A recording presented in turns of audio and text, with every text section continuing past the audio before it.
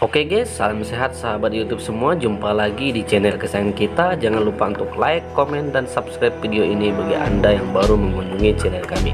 Bagi Anda yang sudah subscribe, kami ucapkan terima kasih banyak.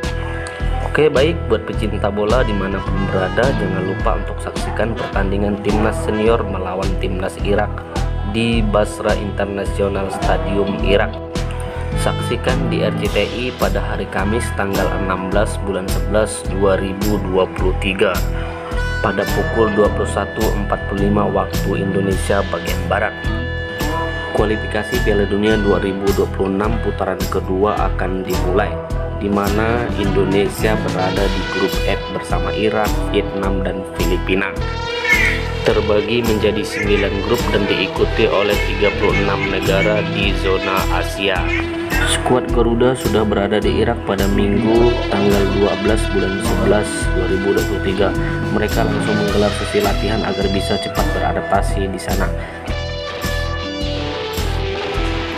Secara ranking FIFA, Irak berada di 68 ranking sedangkan timnas Indonesia berada di 173. Namun pelatih Sintayong tidak akan gentar menghadapi timnas Irak ia bertekad akan meraih poin penuh pada laga kali ini. Sementara itu pelatih timnas Irak yaitu Jesus Casas atau kanan mereka sebagai tuan rumah sudah mempersiapkan diri untuk bertanding melawan timnas Indonesia di depan supporter sendiri.